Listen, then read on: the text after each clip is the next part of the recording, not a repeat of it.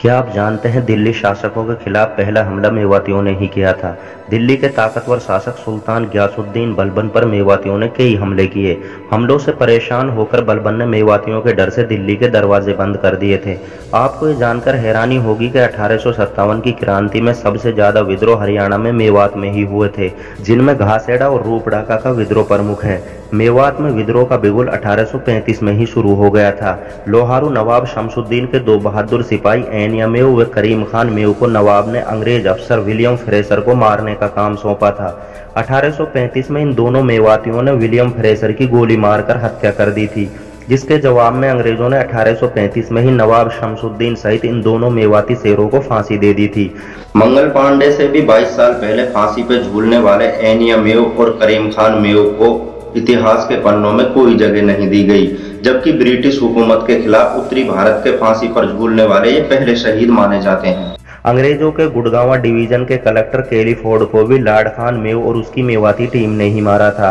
11 मई अठारह सौ सत्तावन को मेवात क्षेत्र में उठी क्रांति की यह चिंगारी तेरह महीनों तक सुलगती रही। इन तेरह महीनों में गुड़गावा गजटियर रिकॉर्ड के मुताबिक दस हज़ार मेवाती शहीद हुए थे।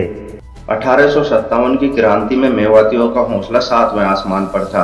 मेवातियों ने शासन प्रबंधन को अपने हाथों में लेकर और अपने नेता मुफ्ती सदरुद्दीन के नेतृत्व में सरकारी दफ्तरों, पुलिस स्टेशनों और डाक खानों को आग लगा दी थी।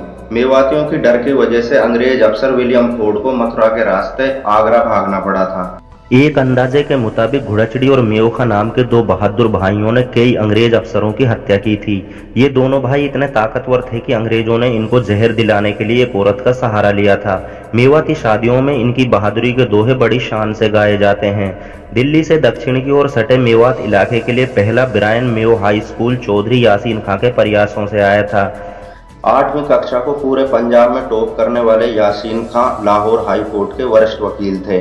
यासीन खान ने ही ऑल इंडिया मेव पंचायत की स्थापना की थी। किसानों और मजदूरों की लड़ाई के लिए यासीन खान ने कई आंदोलन चलाए। कई सालों से यूनिवर्सिटी की मांग कर रहे मेवातियों को आज तक प्रोफेशनल मास्टर डिग्री कॉलेज तक नहीं मिल पाया है। मेवात में आठवीं से आगे पढ़ाई के लिए सिर्फ़ 20 परसेंट लड़कियाँ ही जा पाती हैं। लिंग अनुपात में प्रथम मेवात शिक्षा दर में सबसे नीचे है। इसका कारण ये भी रहा कि 2012 तक मेवात में सिर्फ़ एक ही गर्ल्स डिग्री कॉलेज था। मेवात के समाज सेवियों के प्रयासों से शिक्षा विभाग ने दो गर्ल्स कॉलेज मेवात को दिए, जिनमें गर्ल्स शिक्षा दर का आंकड़ा 35 परसेंट पर पहुँच गया है, जो कि अभी भी देश के पैंसठ परसेंट से बहुत कम है। अरावली पर्वतों से घिरे हुए मेवात में चौंकाने वाली झूलती मीनारें हैं। नुहू के पल्ला गाँव में ये मीनारें हमेशा झूलती रहती हैं। चूहीमल तालाब को सेठ चूहीमल ने बनवाया था। इसमें बनाई गई आठ छतरियाँ, इस पर चार चाँद लगाती हैं। ताउडू का किला नाहर सिंह के किले के नाम से जाना जाता है। इसकी दीवारें बहुत ऊँची हैं। ताउडू के गुंबद मुगल कालीन समय में बने।